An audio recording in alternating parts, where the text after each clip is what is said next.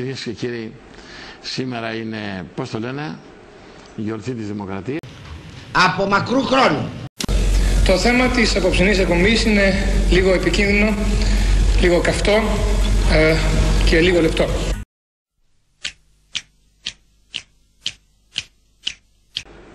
Είναι αυτό που λέμε γιορτή του Πολυτεχνείου.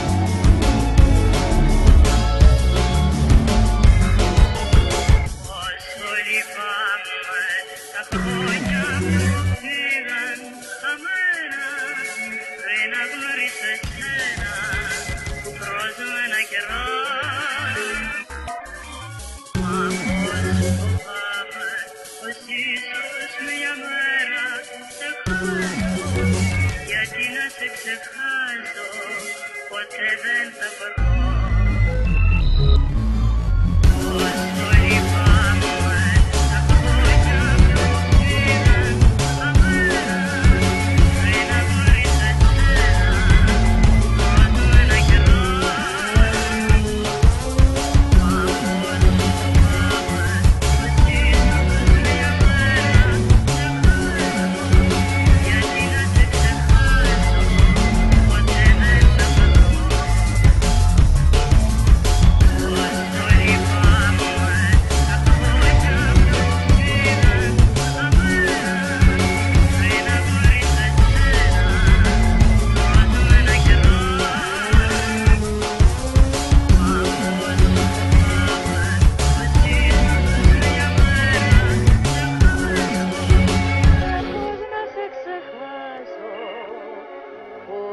sa sa